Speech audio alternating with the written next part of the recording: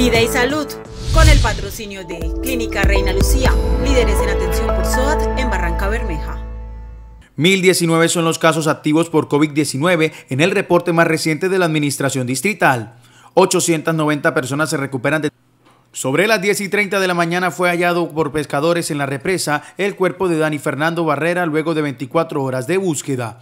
El CTI hizo el levantamiento del cadáver sobre el mediodía en presencia de familiares y amigos. El infortunio se presentó el pasado lunes festivo cuando Dani departía con amigos en este lugar que las personas desafortunadamente ven como bañadero. Dani Fernando Barrera tenía 22 años, jugaba en Orsa Fútbol Club de Barranca Bermeja, estudiaba el pregrado de fisioterapia en la Universidad de Santander y era egresado del Colegio Industrial del Distrito Especial registradas, el gobierno local invita a los barranqueños a fortalecer las medidas de bioseguridad y acatar el toque de queda y ley seca que rique hasta el 14 de junio para contener la cadena de contagios en el distrito.